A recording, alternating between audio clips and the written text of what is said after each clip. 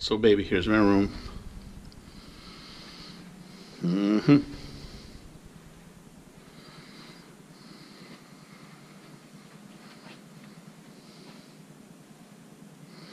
Hmm, double bed. Well, that's what I got. I don't know what Joker thought I wanted a balcony. I mean, here, just for you, I'm gonna go out here. And, uh, I don't know they let me. Maybe can't go on the balcony. Oh yeah, this ain't right. This is definitely not right. Check this out. It's, it's kind of a nice view though.